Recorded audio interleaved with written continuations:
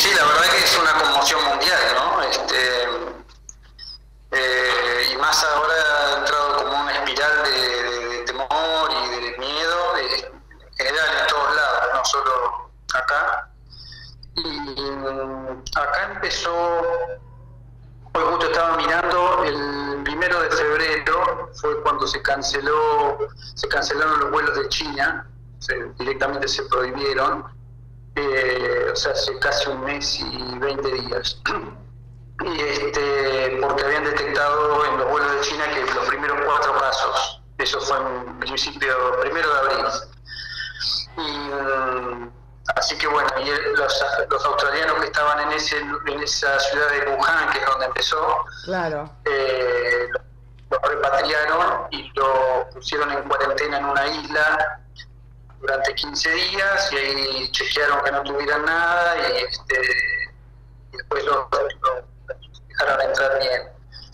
Y los primeros, los otros casos que fueron los que generaron más problemas fueron gente que había venido de Irán. Australia es un país muy cosmopolita, gente, vive gente de todo el mundo, de más de 180 países, así que hay mucho movimiento de entrada y salida de gente de todos lados bueno, y al principio en Irán no se había detectado que había coronavirus y, este, y, entraron varios casos de ahí. Esto, esto generó, digamos, en las medidas rápidas, o pasó como en muchos de los países europeos donde se dilató un poco el tomar medidas extremas, cierre de aeropuertos, cierre de espacios donde pueda haber mucha aglomeración de gente. ¿Cómo funcionó el gobierno australiano a diferencia de cómo funcionan los gobiernos europeos? Bueno, eh, en realidad, eh, ya te digo, empezó hace más de un mes y medio, ¿no? Este, acá se, tomaron algunas medidas de entrada muy drásticas porque la economía de Australia depende mucho del comercio con China. Claro. Y fue cortar los vuelos con China sin, haber, sin que la gente hubiera tomado tanta conciencia generó algún problema, sobre, sobre todo porque mucha gente se perjudicó económicamente, sobre todo las universidades hay muchas, la mayoría de las universidades de Australia tienen eh, cantidad de estudiantes chinos, por Tienen ejemplo. como un proceso de intercambio, leía ayer, ¿no? Tienen como un proceso de intercambio educativo.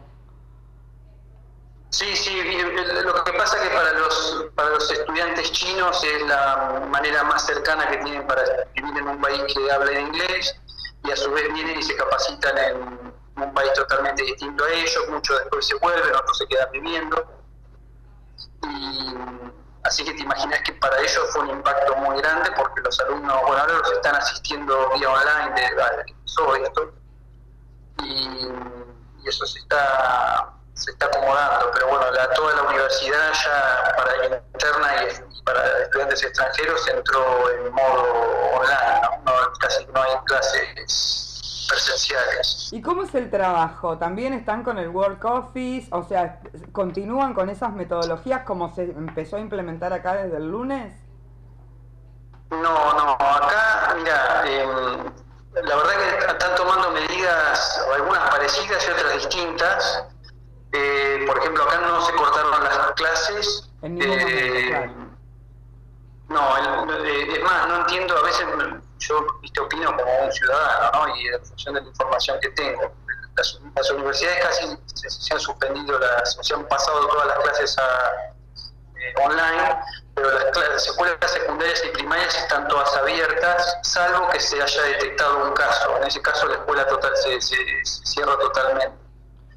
Eh, y bueno, por supuesto tienen todas las medidas de seguridad y previsión, ¿no? Pero eh, no las, escuelas están normalmente, la vida social, bueno, ahora estos últimos días yo veo, yo viajo en tren a trabajar y está en tren hay la mitad o quizás un poco menos de gente de la que normalmente viaja.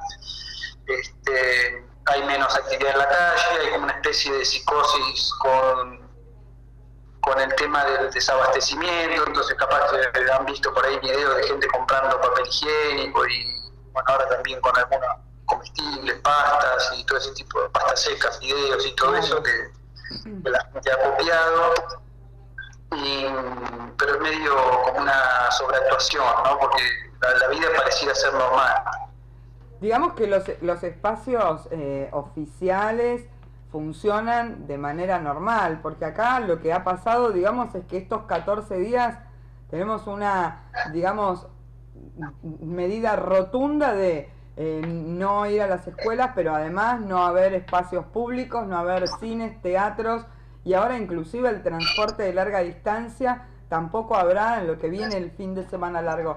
Eso en Australia en ningún momento pasó en, desde febrero hasta ahora. No, mira, justo el día, el domingo pasado, que era la carrera de Fórmula 1, fue en realidad el jueves o el viernes, se suspendió la carrera de Fórmula 1 porque se suspendieron todas las actividades públicas de más de 500 personas eh, al aire libre, en, cualquier lugar, ¿no?